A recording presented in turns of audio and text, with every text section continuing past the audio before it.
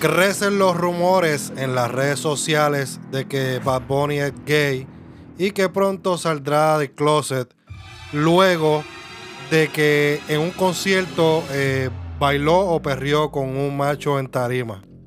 Eh, Maluma se va de una entrevista luego de una pregunta incómoda para él.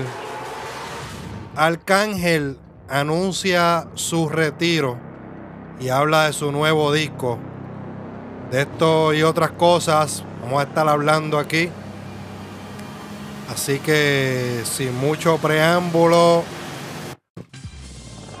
vamos a comenzar.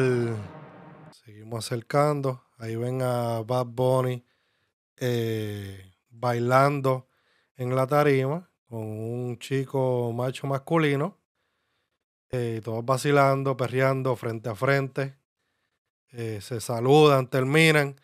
Y debido a esto, pues han, han crecido mucho, muchos rumores. Vamos a ver qué son los comentarios que, que, dice, que dice la gente, que especula la gente por aquí. Dice por aquí una chica, dice, vamos a acercar, vamos a acercar. Y aquí estamos suficiente cerca. Eh, dice, ese no es el ídolo que conocí. Otra chica dice, sin comentarios. Otro muchacho pone emojis de vómito y repulsión. Otra chica escribe eh, payaso, entre, entre otras cosas que se comentaron ahí en ese video de, de Bad Bunny. Vamos a ver, vamos a escuchar a Maluma, qué fue lo que, lo que sucedió en esta entrevista, que Maluma abandonó esta entrevista. Se llama señor. No, I must ask you, um, Shakira and uh, Dua Lipa uh, refused to take part in this World Cup due to the bad records of Qatar regarding human rights. And obviously people think what? Maluma, don't you have problem with, with human rights violation on this country? Yeah, but it's something that I can't resolve. I just came here to enjoy life, enjoy soccer. The party of soccer is not is not actually something that I have to be involved with. I'm here enjoying my music and uh, beautiful life playing soccer too. But you, can you understand just people who gonna say that by the very, by the very presence of you here, you are like helping whitewashing, whitewashing. I understand. The, uh, Do I have to answer that question? Okay. No, but I- I'm just asking that people are gonna people are gonna ask. You don't do that. What the problem? I mean, I'm rude. Why I'm rude, Maloma? I don't think. I, I think that this is what people say. This is what people think.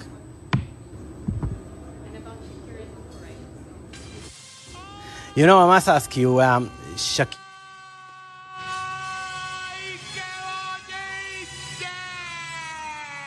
Ahí está, escucharon a, a Maluma rechazar básicamente a este entrevistador.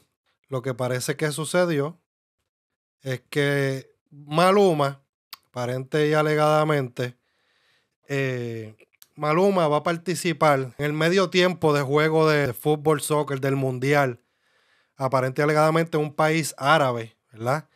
Entonces, pues un entrevistador, allá parece que hay un problema donde, donde supuestamente murieron más de 6 mil personas en la construcción de ese estadio. Y parece que Shakira rechazó cantar ahí, eh, Dualipa rechazó cantar ahí, por el problema que estaba sucediendo, no solo de las personas que murieron, sino porque se están violando los derechos humanos, porque las mujeres no pueden opinar en ese país, eh, entre, entre otras cosas, eh, básicamente, que, que están sucediendo. Y pues Maluma se incomodó con ese comentario y se fue, lo dejó, lo dejó pegado. Maluma, Maluma lo dejó pegado y, y punto. Tú sabes, no le gustó y le dijo, tengo que contestar esa pregunta. O sea, como que, ¿qué es esto? ¿Qué clase de entrevista es esto? Miren la cara que pone Maluma. Maluma pone una cara ahí como de, como de pocos amigos y, y- se larga, la arranca y se va y deja al entrevistador pegado. So, él le pregunta que, que si tenía que hacer esa pregunta, que si tenía que contestarla. Él le dijo no, pero eso la gente se está preguntando. Así que, no sé, deja tu opinión. Eh, Maluma fue a cantar. Maluma fue a hacer su show. Yo entiendo que es una situación eh, difícil donde quizás depende de la manera de pensar de los, del artista. Eh, va a ir o no va a ir, pero es como él dice, no tiene, no hay nada que él pueda resolver o, no pueda resolver ahí. Él está contratado siendo parte, parte de un show. Pues está aceptando su dinero, pero no todo el mundo. Aquí el problema es que se espera que toda la humanidad, que todo el mundo piense igual, que todo el mundo esté de acuerdo con, con siempre con, con, las masas, con todo.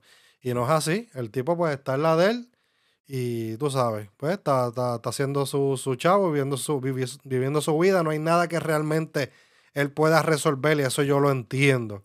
Pero deja tu opinión, si tú, si tú opinas algo eh, diferente. Vamos por aquí, vámonos con Arcángel. Estoy trabajando en mi álbum, ya lo entregué, se llama Señor Santos. Es un trap album. Oh, yeah. There's no commercial music at all. No reggaeton, no nothing. No es una. Eh, I'm, I'm, I'm talking. I'm saying some deep. Pero, pero yo estoy loco por retirarme. Porque ya está bueno. No, es que es bueno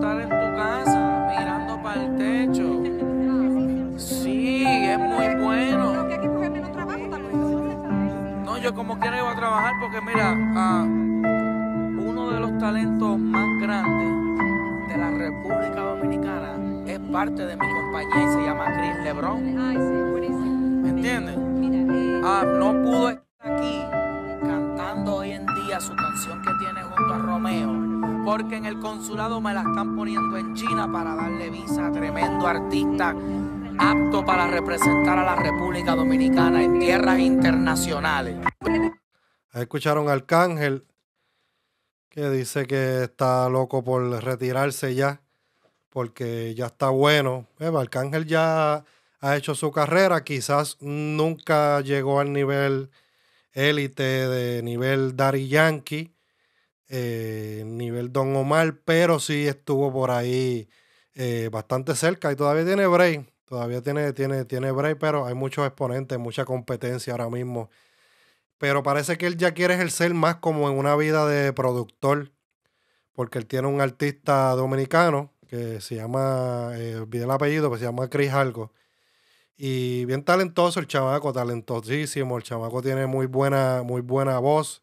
El chamaco canta, o sea, no es como un rapero. El chamaco canta como tal.